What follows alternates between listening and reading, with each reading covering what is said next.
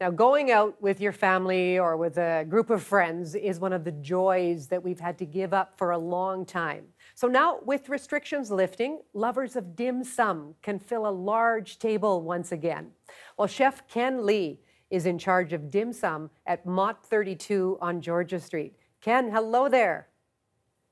Hello, Gloria. So, can you show us what you've got laid in front of you there? What are your signature dim sum specialties? Oh, today uh, I just showing like three items uh, signature dim sum.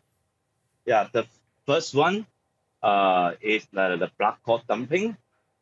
Inside choice some uh, pepper chili that make some spicy. Top, the topping is XO sauce. Uh, and the second one is the lobster hagao. Yeah, we all use the Australian lobster tail inside, and then the little uh little bit pipey is like inside is uh you can add some spicy inside uh I just put in the chili and lobster oil. Uh, and the third one is the hot and sour soup dumpling. Yeah, that is the, my favorite one. They yeah, are all use... gorgeous, and I'm sure they taste as good as they look as well. How long does it take to put one of these together? I mean, especially the lobster. I mean, I can see you're putting the extra chili oil in there at the end, but how much work goes into this? Oh, we just uh, working like uh, every every day like fresh. Is it a whole team of people who are making those delicious little pockets?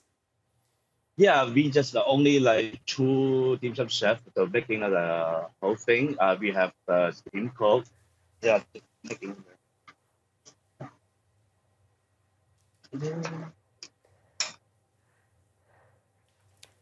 Ken, why don't why don't you just take us through what uh, step by step? What what are you doing there?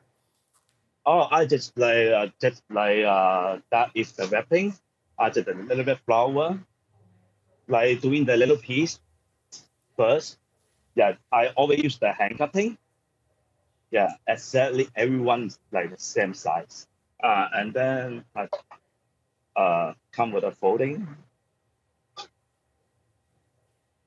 Mm. It's for the stuffing. we always uh, use like maybe 18 to 24 to finish the thing. Okay. Oh, look at that. You're pulling up the lips around it. All right. All right. Yeah. Oh, that gives it's us a whole new appreciation for, for what goes in there. Oh, lovely. Lovely. Yeah. Yeah. And, uh, and, after and, that, then, uh, we just go in the steam five minutes, and then that is the finishing product. I see, and you've got the steamer on behind you there in the kitchen. Yeah, it looks fantastic. Good. Our mouths are watering. Now, Ken, this is the yeah. the moment where everything comes to fruition. Take us through what happens there in the steamer. Uh, uh pardon me. Just describe what's there for us. Oh, the steamer is uh, that any single dim sum item we always go to steam. Let's look at what's in those delicious little baskets.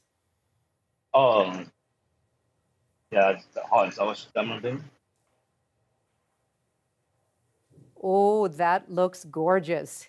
Ken, thank you very much.